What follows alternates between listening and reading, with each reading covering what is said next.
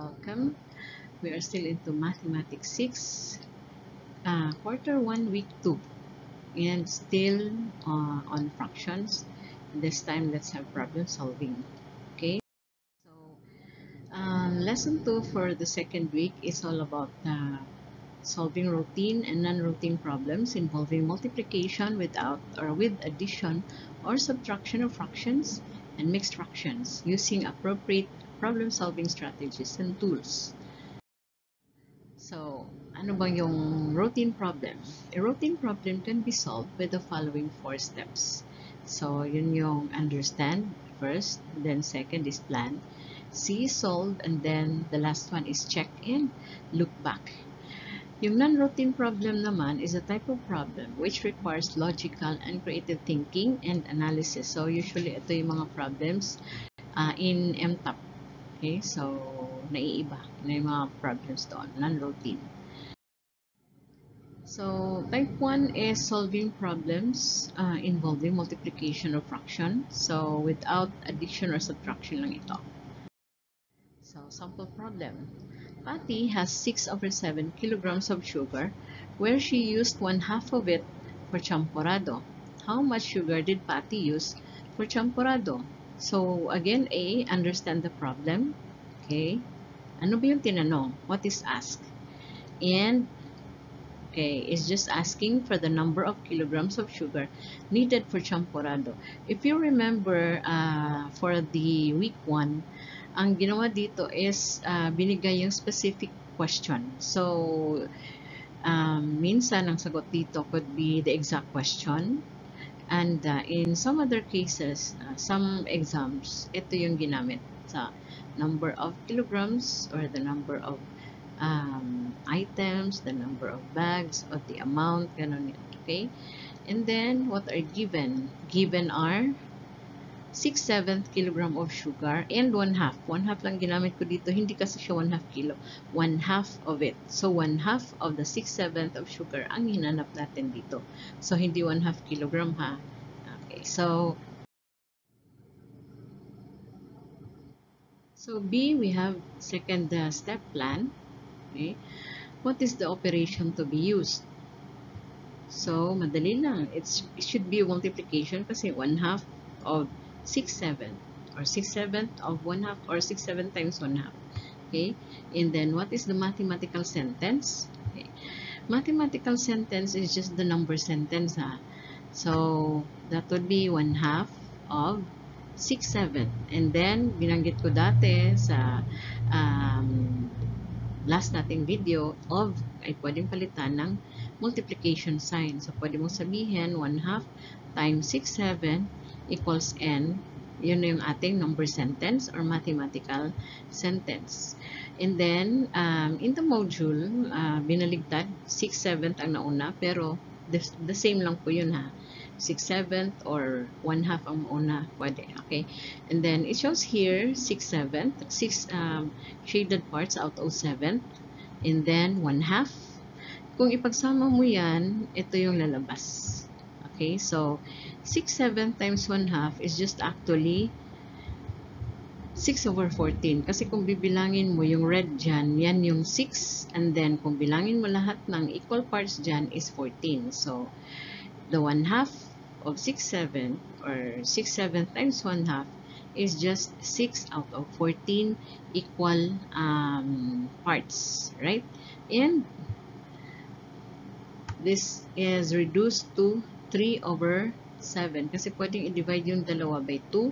So, final answer is 3 over 7. Now, paano ba natin uh, makita yan na 3 over 7 talaga yan? Okay?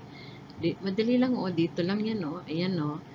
Um, since we have 6 7 as the, at the start, pwede nating hatiin yung dalawa. E di unang hati is itong tatlo. Pangalawang hati is yung pangalawang tatlo. So, yung kalahati eh di yung napapaloob lang sa uh, isang bracket. So, tatlo. 3 out of 7. So, yun na yung sagot natin kahit nasa illustration lang or drawing, madali lang din. Alright? Solve natin, that would be 6, 7 times 1 half. Okay? And then, equal natin is 6 over 14. So, kung walang drawing ha, and then divide natin by 2 yung dalawa, final answer is 3 over 7. So, therefore, Patty used 3 7th kilograms of sugar for her champorado. Now, let's check and look back. Check if the answer is reasonable and correct. Paano natin gawin? You can repeat the calculation. You may do it differently. Okay? Not necessarily na sundin mo yung ginawa natin doon. So, repeat the calculation. This time, inad lang yung 3,7. So, dahil kalahati yung 3,7, edi kung dagdagan mo ng another 3,7, edi isang kalahati pa, edi buo na yung um, uh, original kilogram of sugar na binigay sa problem natin. So, 3,7 plus 3,7 is just 6,7. So, tama yung sagot natin. Right. Type 2, solving problem involving multiplication uh, of simple fraction by another simple fraction with addition na to ngayon. So, nandito pa, nandun pa rin to sa module nyo ha. So, sample problem, Mrs. Santos sells food at the school canteen. Her daily marketing budget is 3,500 pesos. She allots 4/7 for the purchase of meat, 2/7 for fish, and the rest for vegetables and other ingredients. How much money is allotted for buying, buying fish, vegetables, and other ingredients? So, first step, understand the problem. So, what is asked? Again, how much money or the amount of money allotted for fish, vegetables, and other ingredients.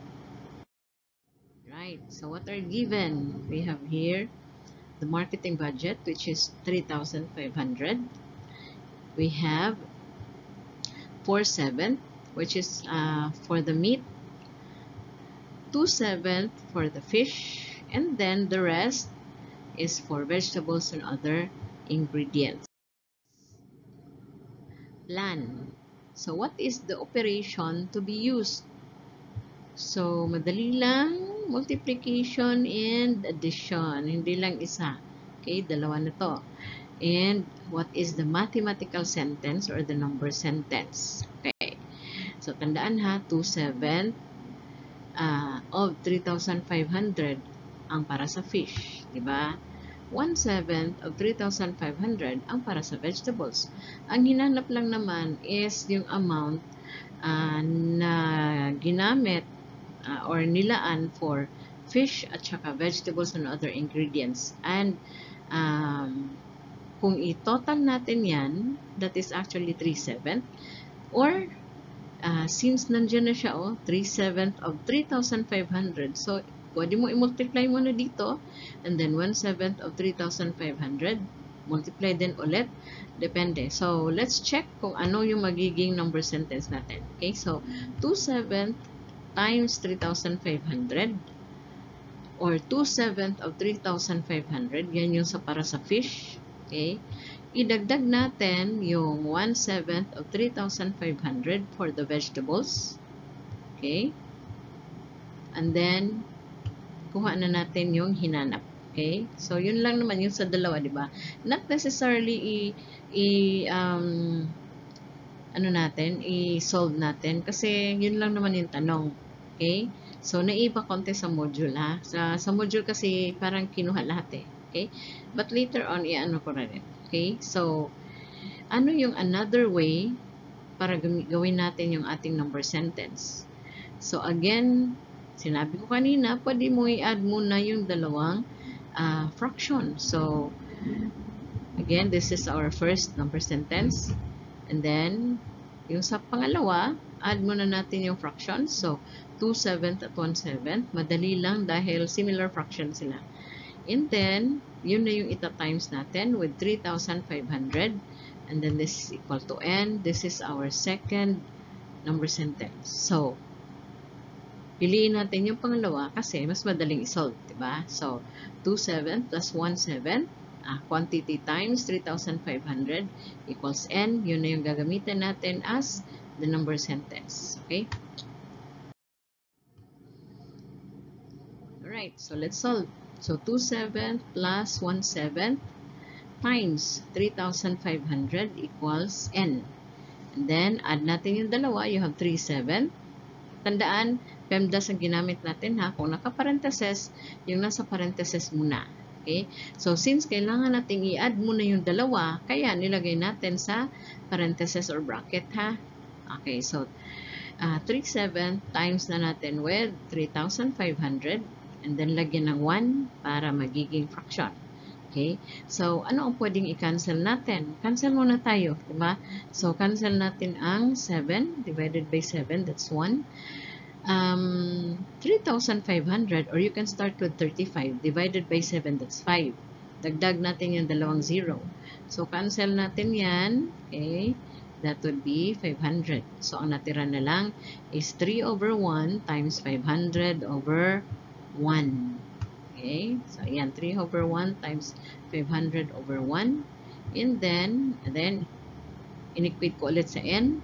And then, i-times natin yung dalawa, you have 1,500 over 1. Or, tanggalin yung 1 sa baba, since this is uh, actually a whole number. So, 1,000 500. So, ito na ngayon ang uh, ginastos dun sa fish at saka um, vegetables and other ingredients. Okay, so this is um, yan, 1,500 pesos for fish, vegetables, and other ingredients. Okay? So, check and look back. Check if the answer is reasonable and correct. So, tingnan natin. One way to check it is through illustration. So, illustration na gagamitin. So, ito yung um, okay, ito yung 3,500. Diba? Yan. And then, since pito lahat ang equal parts dito, edi, i-divide natin by 7. So, 3,500 divided by 7 is just 500 bawat isa. So, 500 dyan, 500, 500, ayan. Okay, bawat isa, 500, di ba? And then, 4 7 ang para sa meat. Eh di, eto lang yan, di ba? O, di, kita mo na, 2,000 para sa meat. And then, 2 7 ang para sa fish, di ba? So, ayan lang yung dalawa for fish. So, dalawang 500, 1,000.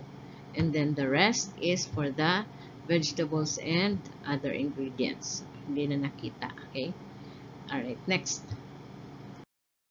Let's have the last one. Um, problem solving involving multiplication of mixed fraction by another mixed fraction with subtraction this time. Okay? And then, sample problem.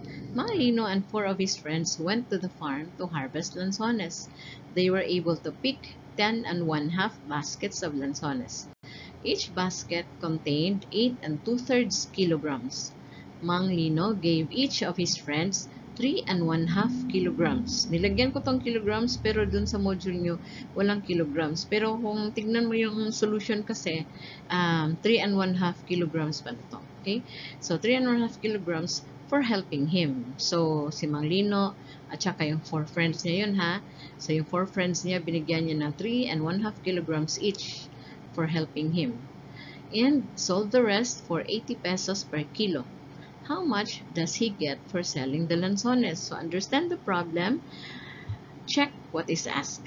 So, ano ba yung tinanong dyan? How much does he get for selling the lanzones? It's asking for the amount, diba? So, we're looking for the amount of money he uh, got for selling lanzones. Okay? And then, what are given? So, ito na yon 10 and 1 half. Ito yung number of baskets of lanzones na nakuha nila. And then, 8 and 2 thirds kilograms. Ito yung bigat ng bawat basket. And then, 3 and 1 half kilograms. Ito yung binigay niya bawat isa sa apat niyang friends. So, hindi pala nalagay dito ang four friends niya. Right? And then, 80 pesos per kilo. Nung binenta na niya. Okay? So, plan. Paano natin isolve? So, what is the operation to be used? Okay? So, this is multiplication and subtraction kasi multiply mo yung number of kilograms in each in each basket eh may 10 and 1 half basket eh. Tapos i-minus mo yung binigay niya sa kaibigan niya. Kaya multiplication and subtraction. What is the mathematical sentence or the number sentence? Okay. So you have 10 and 1 half. Ito yung baskets di ba? And then times 8 and 2 thirds. Ito yung uh, kilogram per basket. Right? And then, lagay natin siya sa bracket kasi uh, dapat magkasama yan, isolve mo muna yan para makuha mo yung total number of kilograms. And then, ima-minus mo ngayon, okay, yung 4 na tig 3 and 1 half kilograms for his friends. And then, bracket ulit kasi dapat magkasama yan. Okay? And then, once you minus it, once you subtracted it, ito na yung altogether, i-multiply natin with 80. So, this is our number sentence. Equate natin with n. Okay? And then,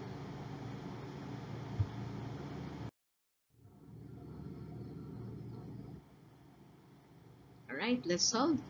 Okay, 10 on 1 half times 8 and 2 thirds. Okay, minus 4 times 3 and 1 half. Open and close. Okay. Times natin with 80 equals n. So, PEMDAS gagawin. Ang nasa loob ng mga grouping symbols dapat mauna. So, 10 and 1 half is actually 21 over 2. Diba? Times 8 and 2 thirds is 26 over 3. Right? and then enclose natin ulit, and then minus natin. 4 is just 4 over 1 times 7 over 2, and then enclose ulit. And then altogether enclose natin bago i-multiply with 80, that is equal to n. And then solve ulit sa loob. Okay, so Pwede tayo mag-cancel dito. So, cancel natin yung 2 divided by 2, that's 1. 26 divided by 2, that's 13. 3 divided by 3, that is 1. And then 21 divided by 3, that is 7. And then the other one divided by 2, this is 1.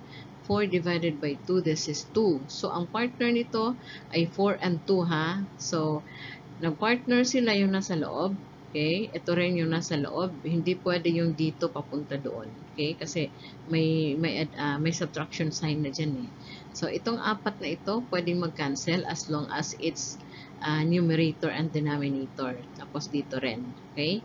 So ang natira na lang ngayon dito sa kabila is 7 and 3 then 1 and 1 sa baba, and then sa sunod na um, grouping symbols, you have 2 and 7, and then 1 and 1 sa baba. All together, times natin with 80, which is equal to n. Okay, and then tuloy. So, yung 7 times 13 is just 91 over 1. So, tinanggalan natin yung 1, and then minus 2 times 7 is just 14. So, ibig sabihin, yung 91 dito ay yung total kilos ng nakuha nilang lansones. Ito namang 14, ito yung binigay niya sa kaibigan niya. Okay, so 91, i-minus yung 14 na binigay sa kaibigan niya. In close natin, uh, matira dito, yun na yung i-multiply with 80. And then again, equate with n. So again, mauna tayo sa 91 minus 14 kasi nakapaloob siya sa grouping symbol. So 91 minus 14, you got 77. So ito na lang yung natira niya, um, number of kilograms na binenta niya at 80 pesos per kilo. Okay? So, total nga nakuha niya is 6,160 pesos. So, Manglino got 6,160 pesos for selling the lanzones. Alright? Oh, sorry, hindi nakita. Hindi ko namalayan. Natatabunan pala. Okay? And then, check natin and look back. Okay. Check if the answer is reasonable and correct. Okay. Uh, one way to check it is by repeating the calculation. So, dito, uh, binaligtad natin. So, alam natin na 6,160 yung pera niya.